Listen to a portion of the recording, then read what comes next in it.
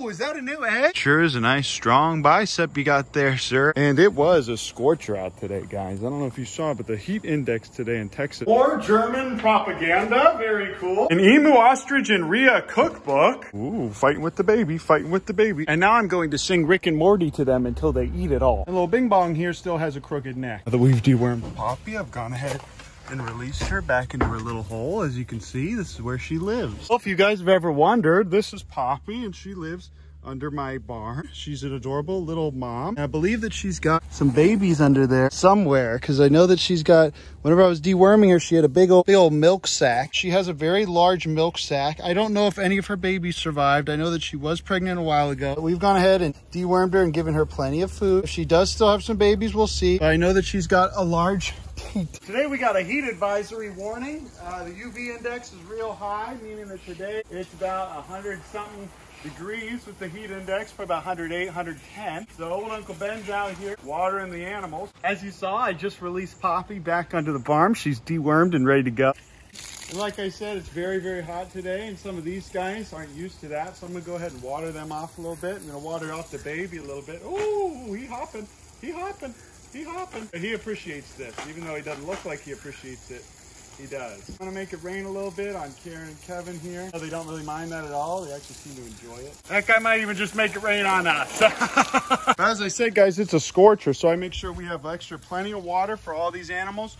Hey, how about we go ahead and fill up this old guy? Very nice, very nice. You're welcome, Olive. Poppy is back where she belongs, and whoa, is that a new egg? No, it's an old egg. It's an old egg that I'm using as a prop for TikToks. But Karen will start laying again, I believe, in November. I'll put that egg there so it doesn't explode in the sun. Hey, Kevin, I'm also gonna go ahead and put Olive in this little mud pit because this is what they like to do in the wild whenever it's real, real hot. They like to crawl around in their mud pit. You want to let them soak for just a little bit. That water's pretty hot though. Put it in this old guy because this water's a little bit cooler. Back she goes. But it's definitely a scorcher today, but boy, do I have an exciting video for you guys. We're going to go ahead and give all these dietary supplements that these little... Kevin, what? You don't want me touching the top of your head, King? If you come back, I'll do it again, Kevin. Told you guys, therapy has been working. Just gonna go ahead and close him in this little yard for now. I am going to be treating each and every one of these adorable little ducks that we got. The call ducks don't really need any treatment, but all these other guys, we're gonna be giving a lot of supplements today, and that should be helping them a ton. But first, I have to drop off all the international orders and the more recent orders for the, babies. Love you guys, appreciate you, thank you. All right, that's the last of the international ones. Thank you guys so much. And just a little reminder, profit from all of these is going straight to the renovations on the new place and setting up and fixing the barn uh, for the new place in Waco for the wildlife rehab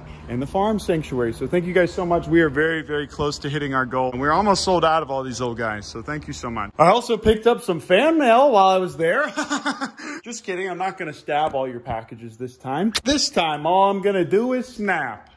Oh, quite the strange uh, group of things we got. Here's two frogs. Uh, this one was 3D printed. I've never seen this species before. And this one's got Minecraft on the bottom. We got some snacks for Pogger. An emu, ostrich, and Rhea cookbook. This may come in handy.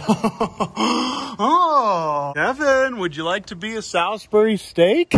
Kevin, why are you hiding? Look, this is delicious. This incredibly based Alex Jones mug from one of my more enlightened followers. oh, the perpetual lemon tree plate. An HEB sunscreen fanny pack. Sus Kevin shirt with old Uncle Ben with, oh, that's very lovely.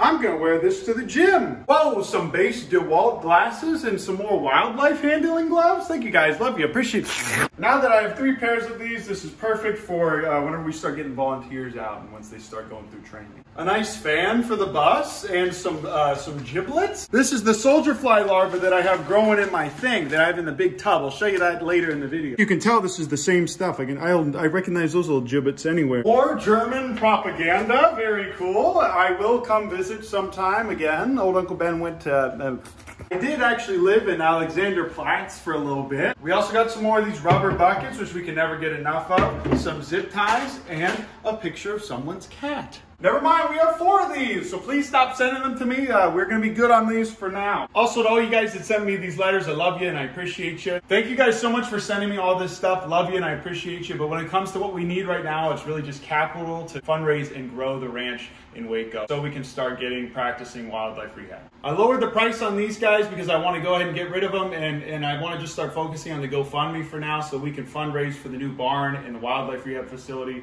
uh, in Waco. Thank you guys so much for sending me some letters and encouragements and to our Jehovah's Witness friends that sent me some Watchtower resources. Love you, appreciate you. Thank you for sending me this. I'm very familiar with it. I would love to send you these books on basic biblical Greek so you could compare for yourself the difference between what's in the Watchtower series and the original manuscripts.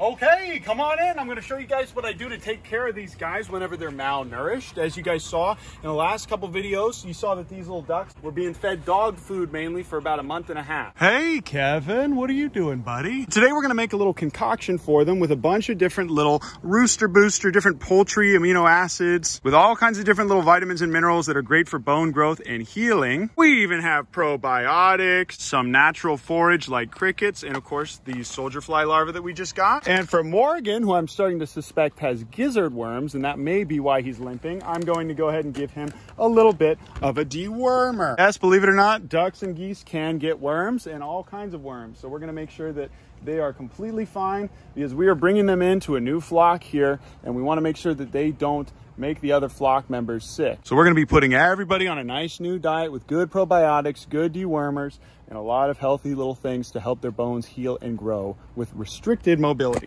I'm also gonna dump this water out as well. Thanks again to you guys for sending us this in the fan mail. This has been one of the nicest things. It is so, so easy to drain. After this, I'm gonna put the rest of that hay in here as well to make it a lot more comfortable for them to walk on. Okay, as you can see, Morgan is still favoring that left leg there. The little Bing Bong here still has a crooked neck. Well, for the next few days, what I'm gonna be doing is I'm just gonna be giving them all of these different little things and a nice little hodgepodge milkshake per what the requirements are in the container. And I've been holding back on giving them a lot of the other food, mainly because I really want them to eat this food. And I also want them to get back to a normal weight because some of them are overfed and they've been given way too many calories. Look at how that little guy with the terrible legs is already doing a great job of standing up straight and walking around. That's literally just from two to three days with giving him the right diet, the right atmosphere, and restricted mobility. And now I'm going to sing Rick and Morty to them until they eat it all. Hey, found this neat little spider in this bucket with all my things. All right, let's say we check on those ducks and see how they're doing eating their supplements.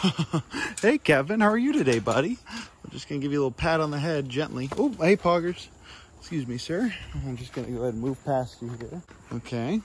Kevin, you don't seem to be very happy. What are you do? What are you doing, sir? Sir, found out if I can just grip the top of his head very gently, he's not gonna get super angry and try to kill me, or he can't bite me. And then all I have to do is just kind of yeet my way in through this gate and close the door. Oh, that didn't really work. I'm just gonna kind of yeet your head again, sir. I'm just gonna gently put my hand on top of it. I like to do this while I'm wearing my Crocs. It's a nice, cool evening from a real hot day.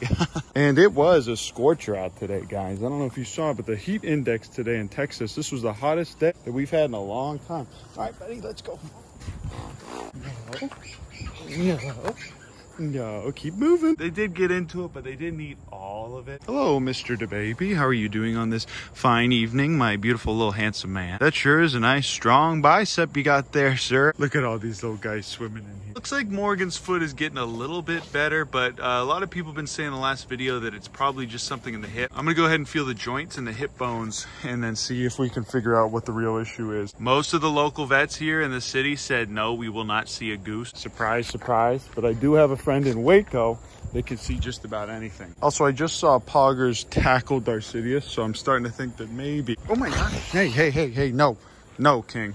No. King, that isn't you. That's not like you, King. Yeah, Poggers just ran over Darcidius, so I'm starting to think that may be why Morgan's got a little bit of a limp. It probably is just a sprain or something. Then you guys wonder, I'm not, I'm holding him as gently as I possibly can. I'm barely even gripping him. It's just enough for him to get kind of freaked out and, and lose motor skills. This really was all I needed to do this whole time was just, ooh, oh, never mind. Just gently put my hand on top of his head and then he can't really do anything. It doesn't make him less aggressive though. Honestly, it might just kind of upset him even more. You can get a real nice up close look at him. Look at those beautiful feet. Wow, what a beautiful, beautiful animal this man is. I also got word that my also got word that my friends and neighbors went ahead and uh, trapped a mama raccoon and then went ahead and euthanized it or released it very far away. And now there are babies around. Oh, fighting with the baby, fighting with the baby. And now its babies are kind of crawling around. So what I'm going to go ahead and do is I'm going to set a trap and see if we can get one. I have seen one or two of them walking around here. The only thing that's concerning is that they said that the uh, mother had swollen nipples.